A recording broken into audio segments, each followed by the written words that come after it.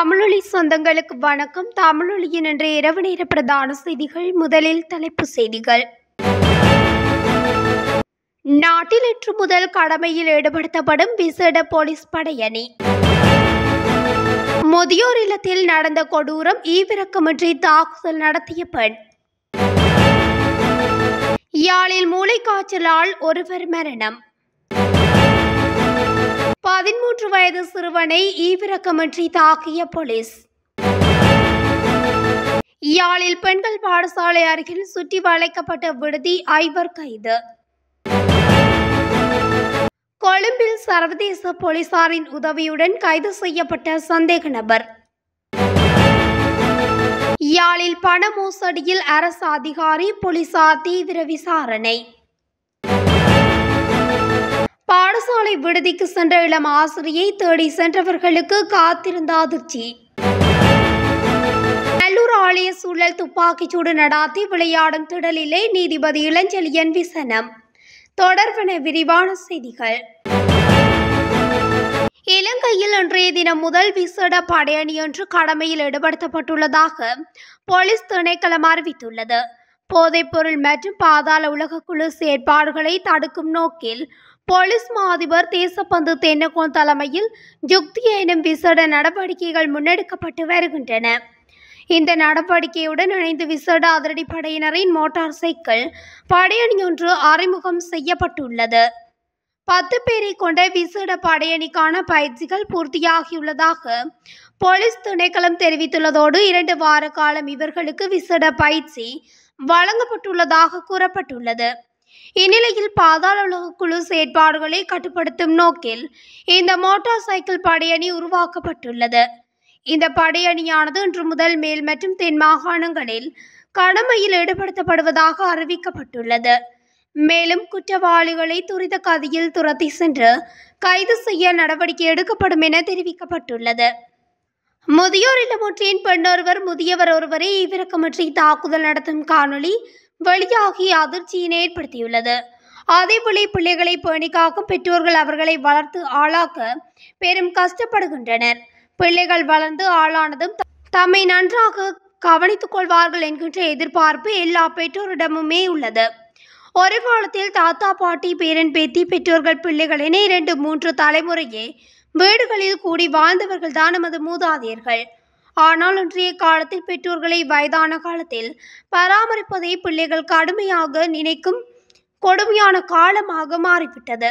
அதனால் தானோ என்னவோ முதியோர் பராமரிப்பு இல்லங்களும் அதிகரிக்க தொடங்கியுள்ளதுடன் வருமானத்தை மட்டுமே நோக்கமாக கொண்டும் பல முதியோர் இல்லங்கள் முளைத்துவிட்டன.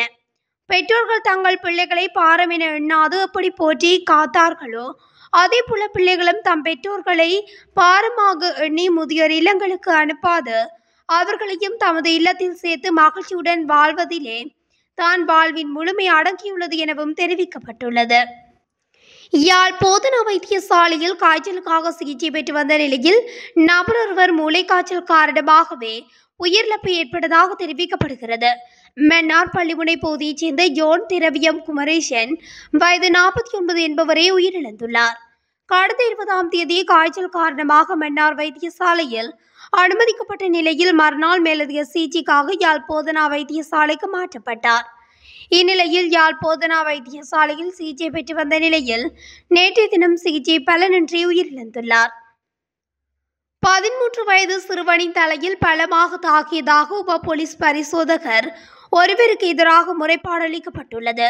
இது தொடர்பில் பாதிக்கப்பட்ட சிறுவனின் தாயார் முறைப்பாடு அளித்துள்ளதாக மகவெல போலீசார் தெரிவித்தனர். மாத்தளை எடவத்த போலீஸ் நிலையத்தில் கடமையாற்றும் உப போலீஸ் பரிசோதகர் ஒருவர் மீது இவ்வாறு முறைப்பாடு செய்யப்பட்டுள்ளது. இந்த சிறுவன் பந்தயத்துக்காக துவிச்சக்கர வண்டியை செலுத்தி சென்றதாக கூறி இந்த தாக்குதல் இடம்பெற்றுள்ளதாக பாதிக்கப்பட்ட சிறுவனின் தாயார் போலீசாரிடம் தெரிவித்துள்ளார். இந்த தாக்குதலை அடுத்து வீடு திரும்பிய சிறுவன் திடீரென சுகையினமுற்று தரையில் மயங்கி விழுந்ததாகவும் சிறுவனின் தாயார் போலீசாரிடம் தெரிவித்துள்ளார். யாழ்ப்பாணத்தில் நீண்ட காலமாக சந்தேகத்துக்கிடமான முறையில் இயங்கிய விடுதியொன்று திடீரென முற்றுகையிடப்பட்டுள்ளதாக காவல்துறையினர் தெரிவித்துள்ளனர். இந்த நடவடிக்கையின் போது விடுதி உரிமையாளர் உள்ளிட்ட நான்கு பெண்கள் கைது செய்யப்பட்டுள்ளதாக காவல்துறையினர் குறிப்பிட்டுள்ளனர். குறித்த கைது நடவடிக்கை நேற்று இரவு யாழ்ப்பாணம் காவல்துறையினரால் மேற்கொள்ளப்பட்டுள்ளது. யாழ் நகரில் அமைந்துள்ள பெண்கள் பாடசாலைக்கு அண்மையில் இயங்கி வந்த விடுதியே இவ்வாறு சுற்றி வளைக்கப்பட்டுள்ளது. இதன்போது விடுதியில் சமூகத்திற்கு ஒவ்வாத முறையில் ஈடுபட்டதாக கூறப்படும் நான்கு பெண்களும் மற்றும் விடுதி உரிமையாளரும் கைது செய்யப்பட்டுள்ளனர்.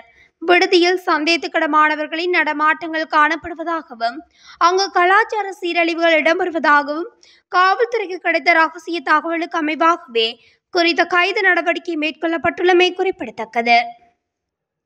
ரத்தினக்கல் வியாபாரிகளுக்கு பெறுமதியான ரத்தின கற்களை தருவதாக கூறி ஐம்பது மில்லியன் ரூபாவுக்கும் அதிகமான பணத்தை மோசடி செய்த ஒருவர் குற்றப்புலனாய்வு பிரிவினரால் கைது செய்யப்பட்டுள்ளார். இதனைத் தொடர்ந்து சந்தேக நபரை விளக்கமறியலில் வைக்குமாறு கொழும்பு மேலதிக நீதிவான் ஹர்ஷனை கெக்குனுவெல இன்று உத்தரவிட்டுள்ளார். தெகிவலியைச் சேர்ந்த முகமது மபாஸ் எட்டிகார் என்ற நபரே இவ்வாறு விளக்கமறியலில் வைக்கப்பட்டுள்ளார். சர்வதேச போலீசாரின் உதவியுடன் குற்றப்புலனாய்வு பிரிவினரால் சந்தேக நபர் கைது செய்யப்பட்டுள்ளார். குறித்த சந்தேக நபர் பிரபல ரத்தினக்கல் வர்த்தகர்கள் உட்பட பலர் ஏமாற்றி நாற்பது கோடி ரூபாவை மோசடி செய்தமை தொடர்பான வழக்கு கால்கிசன் நீதிமன்றத்தில் நடைபெற்று வருவதாகவும் போலீஸ் சார்ஜன் தெரிவித்துள்ளார். யாழ்ப்பாணம் கொக்குவில் தொடருந்து நிலையத்தில் கடமையாற்றிய நிலைய பொறுப்பதிகாரி மோசடி செய்துள்ளதாக குற்றம் சாட்டப்பட்டுள்ளதால் குறித்த தொடருந்து நிலையத்துக்கு சீல் வைக்கப்பட்டுள்ளது. கொக்குவில் தொடருந்து நிலையத்தில் கடமையாற்றிய நிலைய பொறுப்பதிகாரி இருபது லட்சம் ரூபாய் மோசடி செய்துள்ளதாக தெரிவித்து கோப்பாய் போலீஸ் நிலையத்தில் முறைப்பாடொன்று பதிவு செய்யப்பட்டுள்ளது. இது தொடர்பில் உடனடி நடவடிக்கையாக தொடர்ந்த நிலையம் சீல் வைக்கப்பட்டு மூடப்பட்டுள்ளதுடன் நிலைய பொறுப்பதிகாரி தற்காலிக இடைநிறுத்தம் செய்யப்பட்டுள்ளதாக தெரிவிக்கப்பட்டுள்ளது. இந்நிலையில் சம்பவம் தொடர்பான மேலதிக விசாரணைகளை கோப்பாய் போலீசார் முன்னெடுத்து வருகின்றனர். தொடருந்து நிலையம் தற்காலிகமாக மூடப்பட்டுள்ளதால் பிரயாண பயணச்சீட்டுகளை பெற யாழ்ப்பாணம் தொடருந்து நிலையத்திற்கு செல்லவும் என்று அறிவிப்பு ஒன்றும் கொக்குவில் தொடருந்து நிலையத்தில் காட்சிப்படுத்தப்பட்டுள்ளது. பதுளை பிட்டமாறுவ பிரதேசத்தில் உள்ள பாடசாலை ஒன்றில் கடமையாற்றும் தவறான முடிவெடுத்து உயிரிழந்துள்ளதாக தெரிவிக்கப்படுகின்றது. சம்பவத்தில் உயிரிழந்தவர் பதுளை லுணுகலை பிரதேசத்தைச் சேர்ந்த இருபத்தெட்டு வயது பெண் ஆவார். உயிரிழந்த ஆசிரியை விடுதியில் வசித்து வந்துள்ளதாக போலீசார் தெரிவித்தனர். நேற்று பாடசாலையில் கல்வி நடவடிக்கையில் ஈடுபட்ட பின் விடுதிக்கு சென்றுள்ளார். இந்நிலையில் ஆசிரியை விடுதிக்கு சென்றவர். மீண்டும் பாடசாலைக்கு திரும்பாததால் அவருடன் கடமையாற்றும் ஏனைய ஆசிரியைகள் குறித்த விடுதிக்கு சென்று பார்த்தபோது உயிரிழந்த நிலையில் காணப்பட்டமை அதிர்ச்சியை ஏற்படுத்தியுள்ளது. ஆசிரியையின் உயிரிழப்புக்கான காரணம் வெளியாகாத நிலையில் சம்பவம் தொடர்பில் போலீசார் விசாரணைகளை மேற்கொண்டு வருகின்றனர். நல்லூர் ஆலய சூழல் துப்பாக்கிச்சூடு நடாத்தி விளையாடும் திடலில்லை என நீதிபதி மாணிக்கவாசகர் இளஞ்செழியன் தெரிவித்துள்ளார். நல்லூர் சந்தியில் நீதிபதி இளஞ்செழியன் மற்றும் போலீஸ் மெய் பாதுகாவலர் மீது மேற்கொள்ளப்பட்ட துப்பாக்கி பிரயோக வழக்கு தொடர்பில் சாட்சியம் அளித்த போதே அவர் இவ்வாறு குறிப்பிட்டுள்ளார். குறித்த வழக்கு விசாரணை இன்று யாழ் நீதிமன்ற வளாகத்தில் அமைந்துள்ள மேல் நீதிமன்றத்தில் நீதிபதி டி. எஸ். சுசைதாசன் முன்னிலையில் எடுத்துக்கொள்ளப்பட்டது சம்பவ தினத்தன்று இருபத்தி இரண்டாம் தேதி ஏழாம் மாதம் இரண்டாயிரத்தி பதினேழாம் ஆண்டு மேல் நீதிமன்றிலிருந்து எனது காரில் யாழ் கண்டு வீதி வழியாக சென்று கோவில் வீதி வழியாக எனது உத்தியோகபூர்வ இல்லத்தை நோக்கி பயணித்தேன். காரினை எனது சாரதி ஓட்டினார். அவருக்கு அருகில் எனது ஒரு மெய் பாதுகாவலர் அமர்ந்திருந்தார். நான் காரின் பின் இருக்கையில் அமர்ந்திருந்தேன். எனது கார் சாரதியின் மோட்டார் சைக்கிளை எனது மற்றொரு மெய் பாதுகாவலர் செலுத்தி வந்தார். நல்லூர் ஆலய பின் வீதியில் போக்குவரத்து நெரிசல் காணப்பட்டமையால் மோட்டார் சைக்கிளில் முன்னே சென்ற எனது மெய் பாதுகாவலர் வீதியின் போக்குவரத்தினை சீர் செய்து எனது காரினை சந்தியால் பருத்தித்துறை வீதி பக்கம் அனுப்பினார். அவ்வொளி காரின் பின்புறமாக இருந்த நான் காரின் கண்ணாடி வழியாக பின்புறம் அவதானித்த போது சிவில் உடை தரித்த நபர் ஒருவர் வீதியில் போக்குவரத்தினை சீர் செய்து கொண்டிருந்த எனது மெய் பாதுகாவலரின் இடுப்பு பட்டியில் இருந்த துப்பாக்கியை பறிக்க முற்பட்டார். அதனை அவதானித்து காரினை நிறுத்துமாறு சத்தமிட்டேன். மெய் பாதுகாவலர் சிவில் தரித்தவரிடமிருந்து தனது துப்பாக்கியை பறிக்க மல்லு கட்டினார். நான் காரினை விட்டு இறங்கி துப்பாக்கியை கீழே போடுமாறு கத்தினேன். எனக்கும் அவர்களுக்கும் இடையில் பனிரெண்டு தொடக்கம் பதினைந்து அடி இடைவெளி காணப்பட்டது. துப்பாக்கிச்சூடு நடத்தியவரை சுமார் பன்னிரண்டு நிமிடங்கள் நேரில் பார்த்தேன். என்பதால் எதிரி கூண்டில் நிற்கும் எதிரிதான் துப்பாக்கி சூட்டினை நடத்தினார் என எனக்கு நன்கு தெரியும் என அவர் கூறினார். குறுக்கு விசாரணைகளின் போது எதிரியின் சார்பில் மன்றில் முன்னிலையான சடதரணி முச்சக்கரவண்டி சாரதிகளிலான முரண்பாட்டின் போது உங்கள் மெய்ப்பாதுகாவலர் தலையீடு செய்தமையால் ஏற்பட்ட முரணாலேயே துப்பாக்கிச் சூடு இடம்பெற்றது. உங்களை கொல்ல வேண்டுமென்ற நோக்கம் இருக்கவில்லை என குறிப்பிட்டதை நீதிபதி மறுதளித்து நல்லூர் ஆலை சூழல் சுட்டும் விளையாடும் திடல் அல்ல என தெரிவித்துள்ளார். இத்துடன் தமிழொலியின் இன்று இரவு நேர பிரதான செய்திகள் நிறைவடைகின்றன. தொடர்ந்தும் செய்திகளை அறிந்து கொள்ள தமிழொலி ஊடகத்துடன் இணைந்திருங்கள். நன்றி.